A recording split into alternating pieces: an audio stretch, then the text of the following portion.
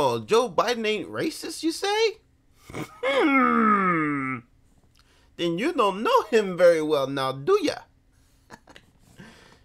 Intro.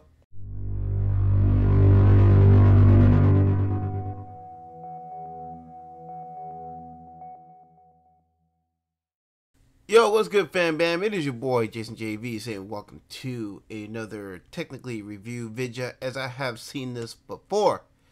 And I can't say I'm surprised. I mean, this video being called 47 Years of Joe Biden's Racist Comments. And this is the updated version. Um, some of you may be familiar with some uh, reactors who hit up the original version of this video. Yeah, this is actually the updated version of that video. So it's going to be a little bit more to it, you know what I'm saying?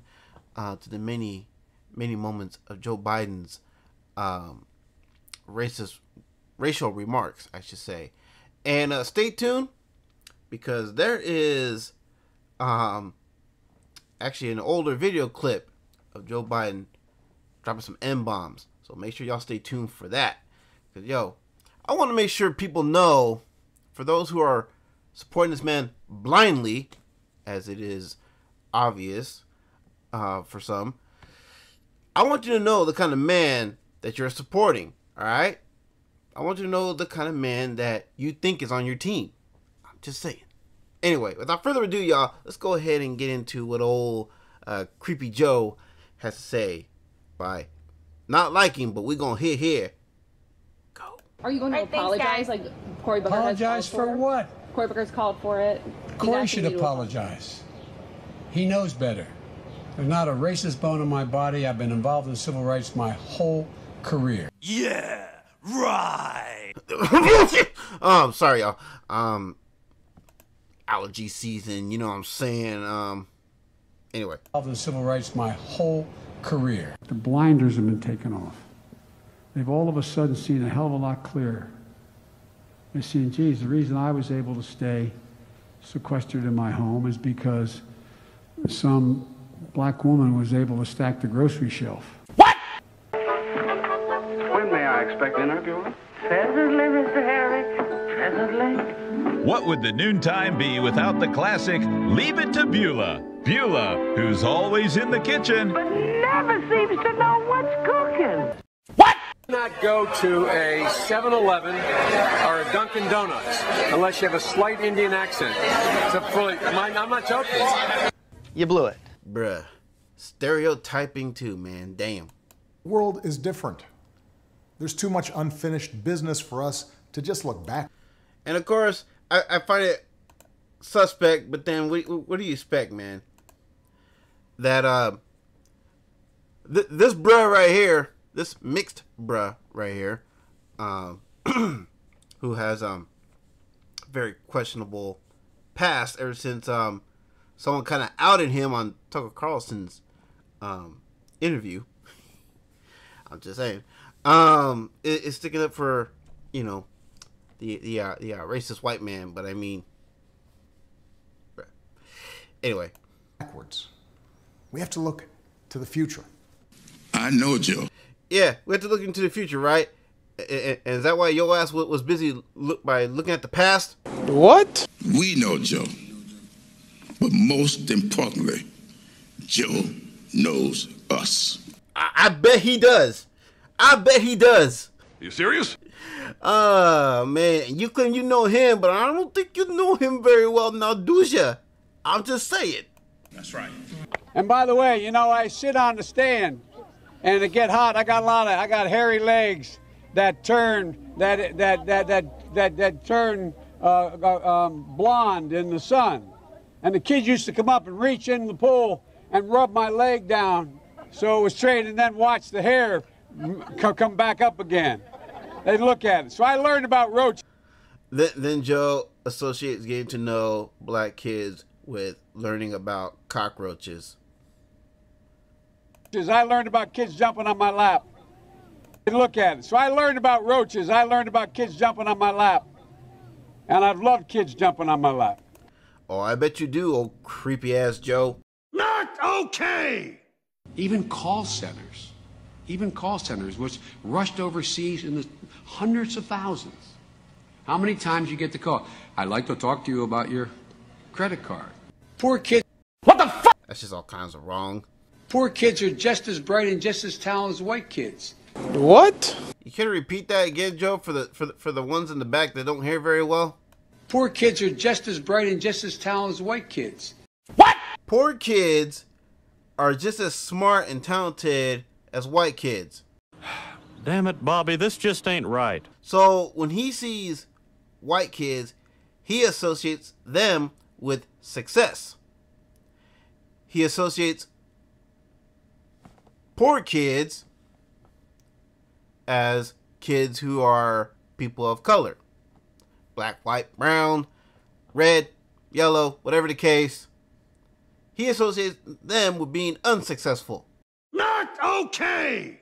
Batting a thousand here, Joe. They're gonna put you all back in chains. What? Now, didn't I tell y'all about this in a past video? Let's hear that again. Just as talented as white kids. They're gonna put you all back in chains. They're gonna put y'all back in chains. He said that. Those were his words.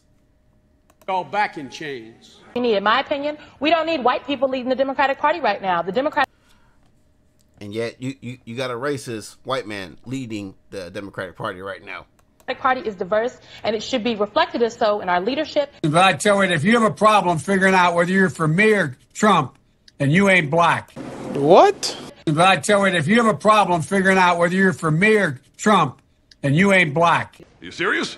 Woo! Pinky, I know you're gonna hit my comment section. I would love to see you try. Try to defend Joe Biden. Let's go. Why does this Chuck, I'm not going to do this. What I'm not going to do this because Chuck, I'm not going to do this because let me just be really clear. Vice President Biden absolutely has a respect level for all people around him, for voters across Look at that. She can't even keep her eyes open when she lies. You know what I mean? She's all like this, like. Watch, watch. She can't even keep her eyes open when she lies. Watch. absolutely has a respect level for all people around him, for voters across this country, young people, uh, older voters, voters of color, black people, Latino voters, indigenous, Asian American, Pacific Islander. So I'm not going to even uh, traffic in any hypothetical conversation about if he is sensitive enough. You need, In my opinion, Girl, at least at least have your eyes open and look into the camera. You know what I mean? Look at the people when you lie to them.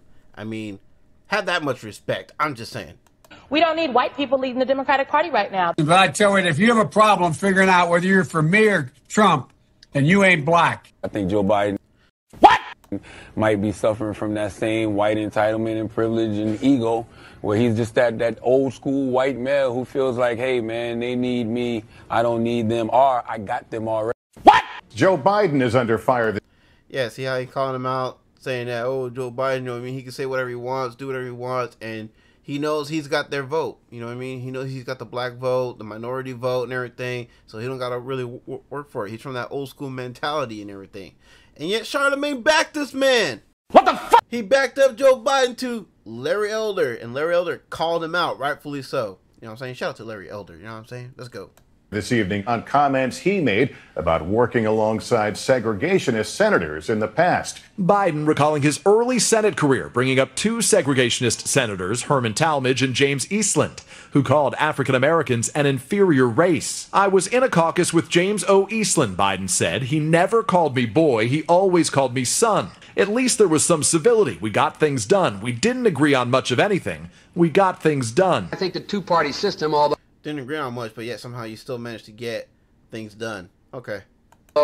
my Democratic colleagues don't like me saying this, I think the two party system is good for the South and good for the Negro, good for the black in the South. What? Two party system is good for the South and good for the Negro, good for the black in the South. Um, and uh, uh, other than the fact that they still call me boy, I don't think they've. I think they've changed their mind a little. And by the way, what you all know, but most people don't know, unlike the African American community, with notable exceptions, the Latino community is an incredibly diverse community. Just that that old school white male What? Uh, let's see here. The new i- i- integration plans being offered are really just a quota system to assure that a certain number of blacks, Chicanos, or whatever in each school. Wow. That to me is the most racist concept you can come up with. What it says is in order for your child with curly black hair, brown eyes, and dark skin to be able to learn anything he needs to sit next to my blonde hair, blue eyed son. 1975 interview. This is a quote, an excerpt from a 1975 interview. Wow. Just wow. Bro, I didn't even have to pause it, man. I could just let, let this thing play. They're gonna put you all back in chains. Oh my God. 30 seconds or less. What kind of a chance with a northeastern liberal like Joe Biden stand? And by the way, when Joe said that, I wonder which members of, of that audience were, were laughing. Because there were some people laughing in, when he said that. 30 seconds or less. What kind of a chance would a northeastern liberal like Joe Biden stand uh, in the South if you were running in Democratic primaries against Southerners like Mark Warner and uh, John Edwards?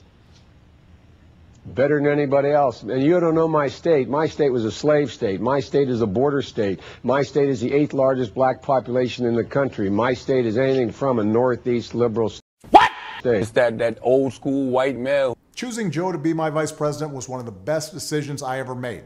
Not the first sort of mainstream African American yeah. who is articulate and bright and and, and clean and a nice looking guy. I mean, it's that's a storybook, man. In, in in reference to Barack Obama, he says, "I mean, you got this." And again, this this is a quote. All right, YouTube, this is a quote. You can clearly see it on the screen. To refer to Obama as being, you know, the first African American who is articulate and bright and clean and nice looking, uh, uh, and a nice looking guy. I mean, that's a storybook, man. Come on, man. Wow. Wow, Joe. Wow. Guy. I mean, it's that's a storybook, man. My son is Attorney General a year in Iraq, came back, and that's one of the things that he finds is was most in need when he was over there in Iraq for a year. People would come to him and talk about what was happening to them at home in terms of foreclosures, in terms of bad loans that were being, I mean, these Shylocks who took advantage of, uh, of, of these women and men. back. Now, I had no idea um, there was more than one racial slur when it came to Jews. I know there, there there's like a K word for them. I won't say it, but it's spelled K I K E. Um, I've heard, I've heard that term. I, I never knew the term Shylock. Um, again, quoting YouTube, so please don't don't at me. Um, I never knew that, that that was actually a racial term for uh, Jews as well. I mean that that's a new one to me. But anyway. Of, of these women and men. Way back from Mumbai to go meet with President Xi in China. I stopped in Singapore to meet with a guy named Lee Kuan Yew, who most foreign policy experts around the world say is the most the wisest man in the Orient. There's not a racist bone Jesus Christ. in my body. But I tell you, if you have a problem figuring out whether you're for me or Trump, and you ain't black. All right, y'all. Now, again, just so y'all know what you're dealing with, let me show y'all another clip right quick. All right, y'all. So as if that video wasn't enough, check out this little number from Joe. This was in a 1985 hearing. Joe Biden says the N-word out loud, not once, but twice. Check it out. clearly indicates that there was intent. The court found the plan with unerring precision slices through the city's traditional subunit, the ward in a racially selective manner, leaving intact predominantly white wards while carving up those densely populated by blacks. As of the governor, the court concludes, quote, the governor's opposition to the Nunez plan was predicated in significant part on his delineation of a majority black district centered in Orleans Parish. In a confidential uh, uh, portions of your staff memo, they brought to your attention the allegation that important legislators and legislators in defeating the Nunez plan in the basement said, quote, we already have a nigger mayor and we don't need any more nigger big shots. and the court cited evidence of discriminatory intent on the part. You guys not hear what this man just said? Here, I'll wind it back for those of you who don't listen in the back very well. Don't need any more nigger big shots, and the court cited evidence of discriminatory intent. Nunez plan in the basement said, quote, we already have a nigger mayor, we don't need any more nigger big shots. And the court cited evidence of discriminatory intent on the part of other legislators, including the representative who testified at the court hearing, that there were legislators, quote, who don't feel they wanted to have a district that would be able to elect. Bruh. Bruh. So there you go. You just heard from the man himself how he feels about minorities. So yeah, if you're gonna support somebody, at least know the history about the person. At least know what kind of person it is that you are supporting. I'm just saying. Alright, y'all. So with all that being said, it is your boy Jason Jay V saying that y'all know the deal, man. If you guys want to go see these video clips for yourself and hear directly from the man himself, you know, how he feels about minorities, I will link those videos in the description down below. So you guys are more than welcome to have at that. And uh, yeah, and y'all know the deal over here. You feeling the vibes over here, you know what I'm saying? You with the vibes over here. Don't forget to like, comment, and of course, share and subscribe. Thank you to everyone that's that's subscribing. Man, we are almost up to 6,760 subs last time I checked. So yeah, really appreciate everyone subscribing. Also, don't forget uh, the merch in the merch store. Make sure y'all go pick yourself up some merch. Get that get that Trump mugshot tee that is now available. So yeah, also comes in a hoodie and you can get it in, in a coffee mug as well. So there you go, some options for you. And uh, yeah, and if you're already buying merch, hey, thank you very much. Really appreciate that support. Really means the world. And uh, yeah, I think I covered everything. So with all that being said, it is your boy Jason JVs, and y'all take care. Have a blessed one. I catch y'all next one. Peace. Jason Jay V on YouTube. Uh, what's up with you, Jason? JV. What up, Jason? JV. Just sending love, peace, and blessings to you. Jason, you are my homeboy, my guy. Don't call me guy, pal. Don't call me buddy, pal. Much love to you, JV. Chris Calico. Cali, baby. Oh. What's up, JV? My name is Jimmy Matros. I'm happy to to do it on the street. Who say what's up to you? Keep your motherfucking head up. Uh, uh, I don't know why you sad. If you sad, you sad, you sad, if you happy. Although don't get too happy. Don't be expecting shit. It's like throw you curves all the time. So you ready to be on the swerve. So subscribe, tap the little bell, turn on the notifications, and if you're not down with that, we got three words for you. Eat it, yeah!